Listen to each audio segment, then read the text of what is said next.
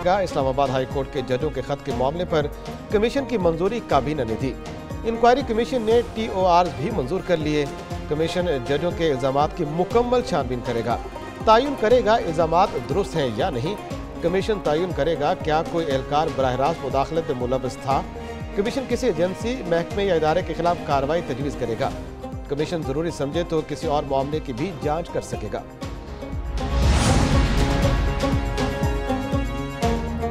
अदलिया के अमूर में इंतजामिया की मुदाखलत का इल्ज़ाम मुस्तरद। काबीना ने छह जजों के इल्ज़ाम को नामुनासिब करार दे दिया। विफाकी काबीना के इजलास का एलामिया जारी।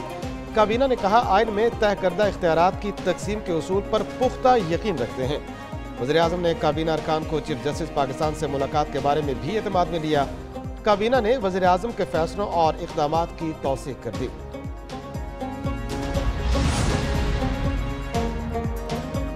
Justice retired Tasadduq Jillani inquiry commission की सरबराही के लिए रजामंद सबक चीफ जस्टिस पाकिस्तान की एक न्यूज़ से खसूस गुफ्तु बोले जजेज खत तहकीकत कमीशन का सरबराह बनना एक चैलेंज है। सुप्रीम कोर्ट और पार्लियामान के एतमाद करने पर ममनून है। वो सुप्रीम कोर्ट के चीफ जस्टिस रहे। कमीशन का सरबराह बनना बायस एजाज है। कमीशन के टी ओ आर के मुताबिक इंक्वायरी शुरू हो गई।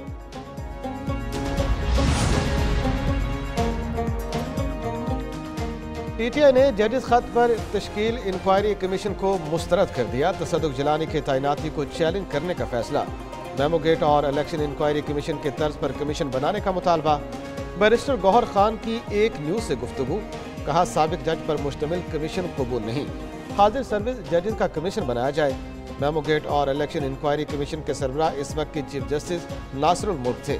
शेर अफजल ने कहा तसदुक जिलानी इस कमीशन के लिए मुनासिब नहीं।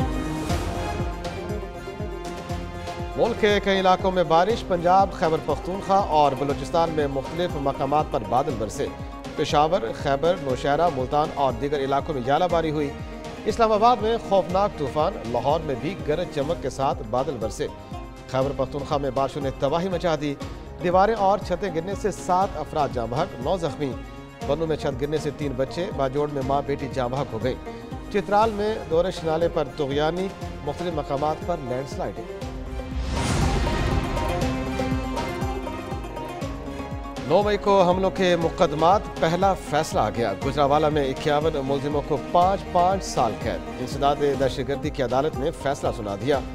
मुलजिमों पर गुजरावाला कैंट पर हमले का जुर्म साबित हुआ। हमले में एसपी समेत दस एहलकार जख्मी और एक शहरी जाँ हुआ था। मुजाहरीन ने गाड़ियों समेत इमलाक की तोड़फोड़ भी की।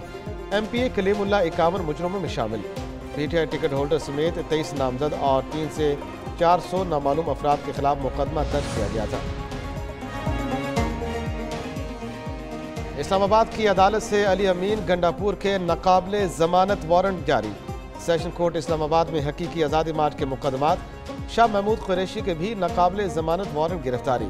फैसल जावेद और अली नवाज़ एवान बरी जुडिशल मजिस्ट्रेट नवीद खान ने थाना कोराल में दर्ज मुकदमा की समात का तहरीरी हुक्मनामा जारी कर दिया। बानी पीटीआई इस केस में पहले ही बरी हो चुके।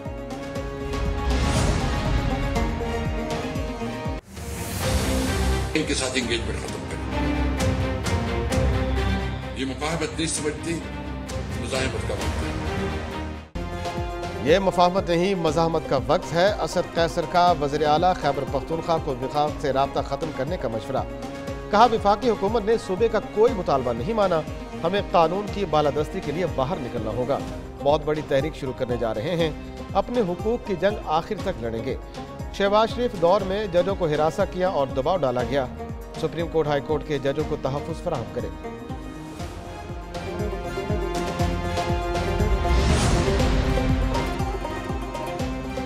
पीटीआई कोर कमेटी में चीफ जस्टिस के इस्तीफे की कोई बात नहीं हुई, ये किसी की जाती ख्वाहिश हो सकती है। इजलास में ऐसा कोई फैसला नहीं हुआ।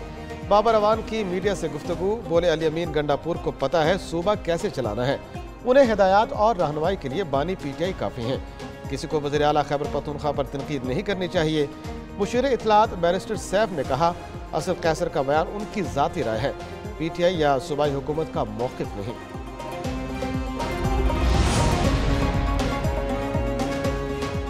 फौजी अदालतें बरीत और कम सजा वाले मुकदमात के फैसले सुना सकती हैं सुप्रीम कोर्ट का हुक्मनामा। फौजी अदालतों को फैसला सुनाने से रोकने के 13 दिसंबर के हुक्म में तरमीम कर दी गई। कहा अटर्नी जनरल ने सदा की कम सजा या बरियत वाले फैसले सुनाने की इजाज़त दी जाए। किसी फरीक ने हुक्म इम्तना में अटर्नी जनरल की सदा की हद तक तरमीम की मुखालफत नहीं की। अटर्नी जनरल ने बताया, फौजी अदालतों में 105 मुकदमात जेर समात हैं।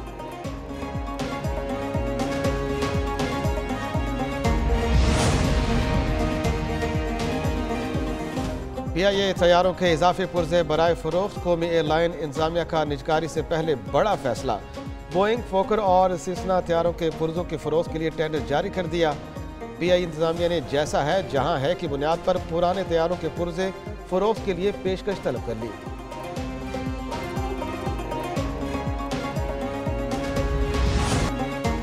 एडिशनल आईजी कराची खादिम हुसैन रिन अहदे से फारिग। कराची में अमन अमान की सूरत हाल खराब होने पर खादिम रिन को एडिशनल आईजी के अहदे से हटाया गया।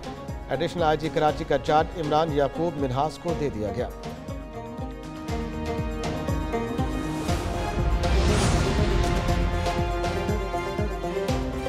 लाहौर में पुलिस की फायरिंग से राहगीर जाबहक। इस्लामपुरा में मुहाफिज स्क्वाड ने मोटरसाइकिल सवारों को मशकूक समझकर रोका। मोटरसाइकिल सवारों ने भागने की कोशिश की। मुहाफिज स्क्वाड ने फायरिंग कर दी। गोलियाँ मोटरसाइकिल सवारों के बजाय 22 साल राहगीर सलमान को जा लगी। सलमान के अहल खाना का एहतजाज। लवाहकिन लाश लेकर जीपीओ चौक पहुँच गए।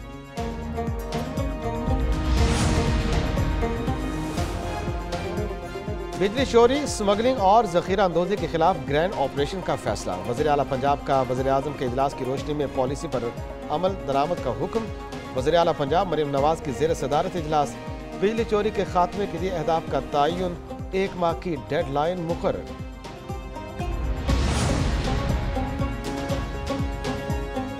और कौमी क्रिकेट टीम के लिए कोचेज की तलाश, पाकिस्तान क्रिकेट बोर्ड ने वेबसाइट पर इश्तहार जारी कर दिया। वाइट और रेड बॉल फॉर्मेट के लिए अलग अलग दरखास्तें तलब। ख्वाहिशमंदों को 15 अप्रैल तक दरखास्तें जमा कराने की हिदायत कर दी गई। पीसीबी की गैर मुल्की कोचिज से बातचीत भी हतमी मराहल में दाखिल। वाइट बॉल के हेड कोच के लिए गैरी क्रिस्टन और रेड बॉल के लिए जैसन ग्लेस्पी मज़बूत उम्मीदवार।